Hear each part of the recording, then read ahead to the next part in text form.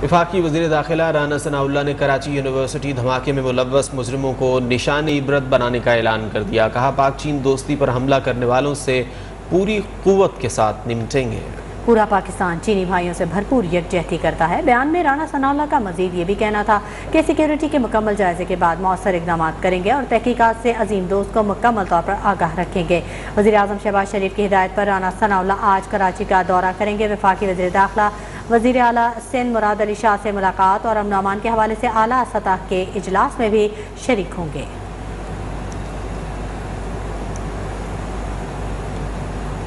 अहम खबर, राना सनाउल्ला जो कि एक रोज़ा दौरा कर रहे हैं कराची का और अमन अमान के हवाले से मुख्तलिफ़ शख्सियात से अहम मुलाकातों का सिलसिला जारी रखेंगे।